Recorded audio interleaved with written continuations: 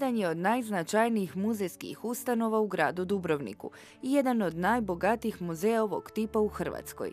Riječ je o specijaliziranom muzeju.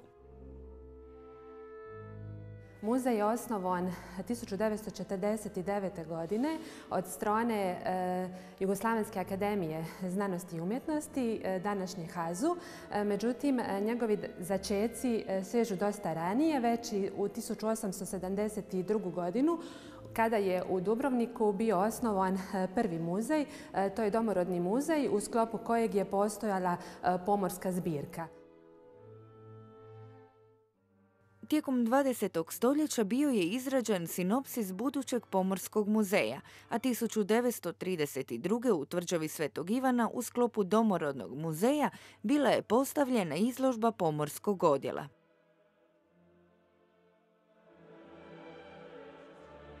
Prvi počasni e, kustos e, tog odjela e, bio je Antun Kurajica, a prvi toj sinopsis je izradio tada, dakle 30. godina, profesor Pero Zec.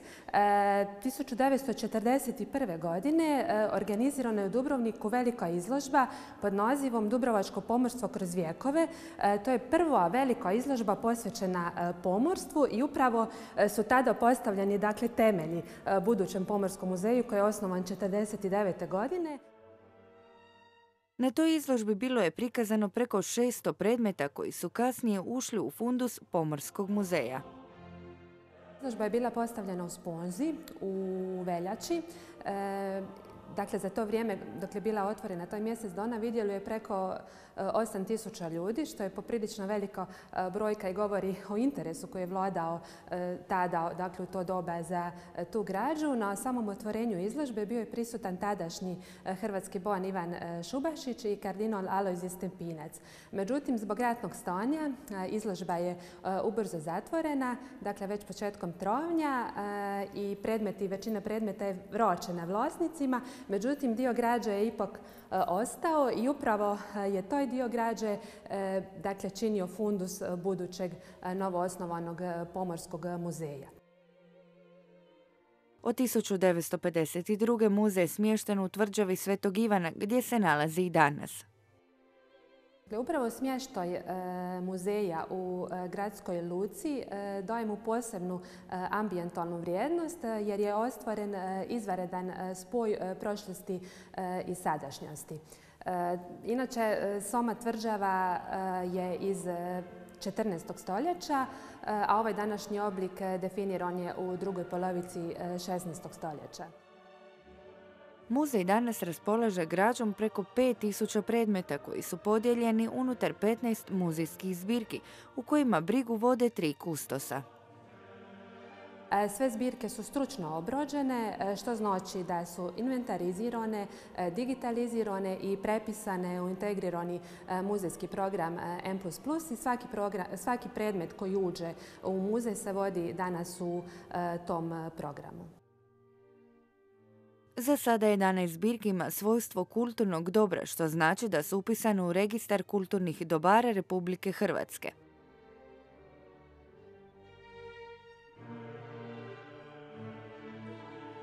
Pomorski muzej danas sustavno prikuplja, obrađuje, izlaže građu iz pomorske prošlosti Dubrovačkog kraja od antike pa sve do modernog vremena.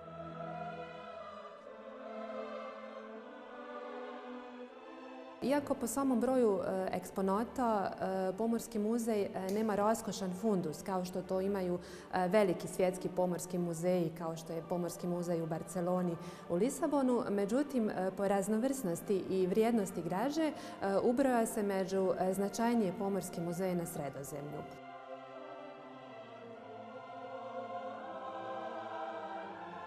U stalnom postavu muzeja e, prezentirano je e, preko 700 e, predmeta koji u okviru tematskih cjelina koncipirani tako da predstavljaju u kronološkom slijedu razvoj Dubrovačkog pomorstva, pa tako i na prvom katu tvrđave e, predstavljeno dakle, pomorstvo od e, antike e, do poda Republike, dok je na drugom katu pomorstvo Dubrovačkog kraja u 19. i 20. stoljeću.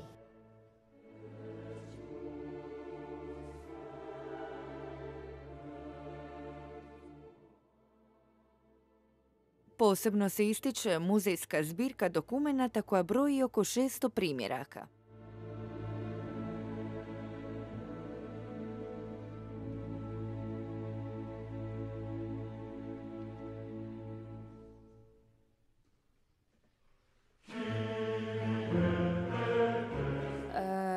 Riječ je e, o vrlo raznolikoj građi e, koja obuhvaća e, vremensko razdoblje od 16. do 20. stoljeća. Posebno bih izdvojila konzularne diplome, oslikane plovidbene dozvole na pergameni, zdravstvene listove, teretnice, fermoane i drugo. Najstariji dokumenti u zbirci potječu iz 16. stoljeća. To je teretnica Dubrovačkog jedrenjaka iz 1543. godine, e, potom pismo e, francuskog kralja Henrika II. E, o zaštiti dubrovačkih trgovaca i pomoraca iz 1557. godine, te korice brodske knjige Dubrovačkog broda Santo Spirito iz 1580. godine i to su e, upravo e, najstariji e, predmeti dakle, koje posjedujemo iz vremena Dubrovačke republike, a koji se vežu uz Dubrovačko pomorstvo.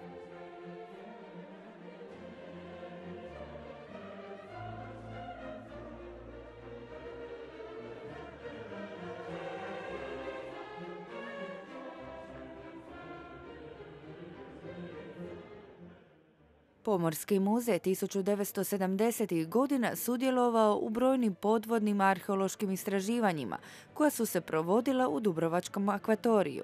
Nalazi iz tih brodoloma danas se nalaze u fundusu muzeja u okviru dvije zbirke podvodnih nalaza.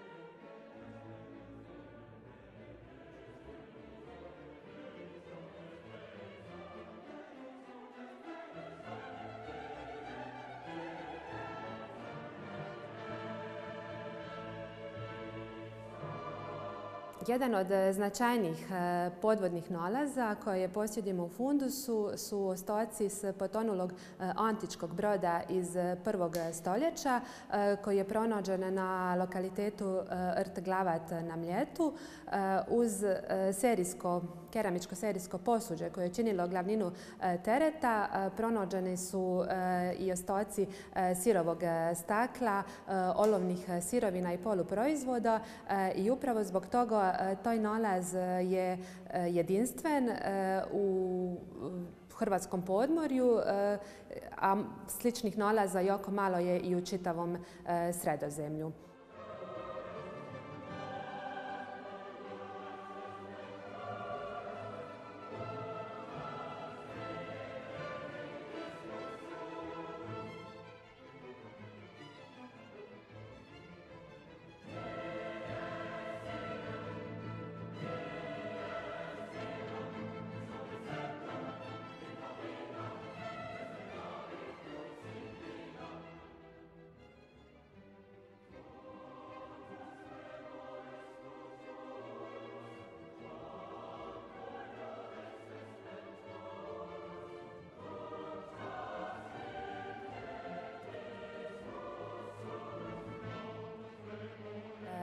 Jedan od najvažnijih brodoloma za dakle, zanos je e, brod koji je otkriven e, na lokalitetu e, Suđurađ na otoku Šipanu. Riječ je o potonulom Dubrovačkom brodu iz druge polovice 16. stoljeća i to je za sada jedini pronađeni Dubrovački trgovački brod. Dakle, prema zapisima iz arhiva brod je pripadao Dubrovačkom trgovcu Jeru Primojeviću uz ostatke brodskog inventora pronađene su, pronađeno je brodsko naoružanje, potom navigacijske sprave i to su ujedno najstariji tipovi dakle, takvih predmeta pronađeni u Hrvatskoj.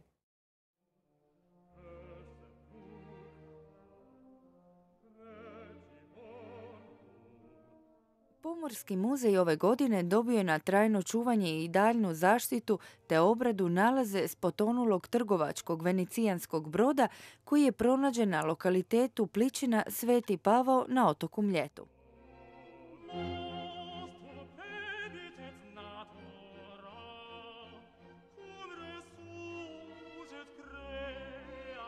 Dakle, riječ je o venecijanskom trgovačkom brodu e, koji je prevozio orijentalni teret namijenjen zapadnom tržištu.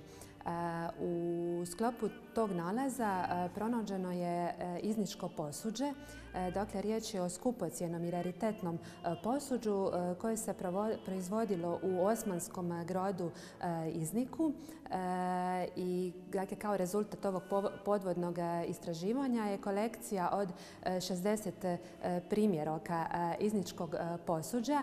Dakle, riječ je o vrlo važnoj građi koja ima svoju kulturnu i povijesnu vrijednost jer ako uzmete u obzir podatak da je danas u svijetu sačuvano Eh, oko 3000 primjeraka cjelovitog izničkog posuđa. Mi u Fundusu imamo oko 60 primjeraka, dakle eh, riječ je eh, o vrlo respektabilnoj brojci i zavidnoj kolekciji na svjetskoj razini. U fundusu muzeja nalazi se vrijedna zbirka slika koja broji oko tristotinjak predmeta. Riječ je o slikama iz 19. i 20. stoljeća. To su prvenstveno, e, na njima su prvenstveno prikazani e, dubrovački brodovlasnici, pomorci, kapetani, potom dubrovački jedrenjaci koji su bili u vlasništvu raznih obitelji s ovog područja.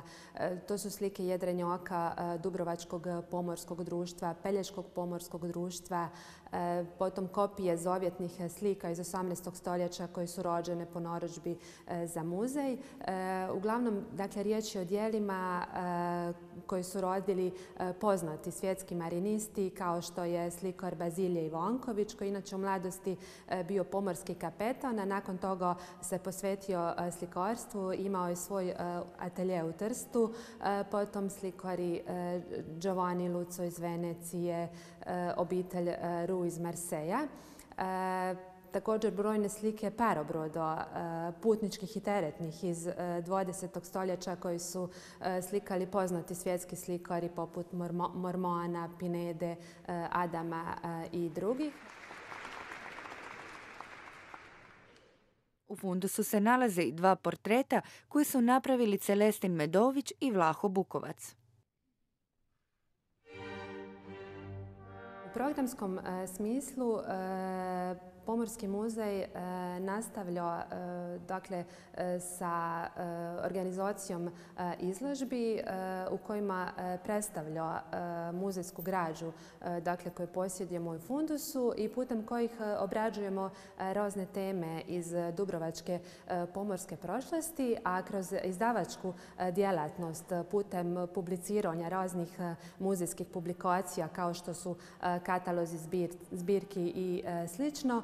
E, objavljujemo rezultate dakle, naših e, istraživanja koje provodimo u muzeju i upravo na toj način nastojimo popularizirati muzejsku građu, ujedno je valorizirati i približiti javnosti. Najveći problem Pomorskog muzeja je nedostatak prostora kako izložbenog, tako i prostora za čuvaonicu.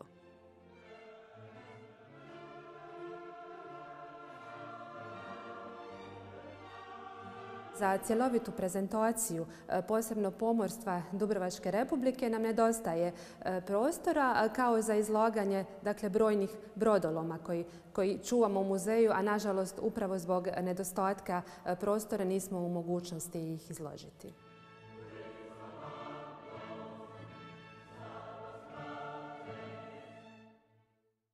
Nastojimo kroz e, modernizaciju e, stalnog postava, e, obradom novih tematskih cijelina proširiti stalni postav, a upotrebom novih modernih tehnologija poboljšati dakle, tu interakciju između posjetitelja i muzejskih izložaka.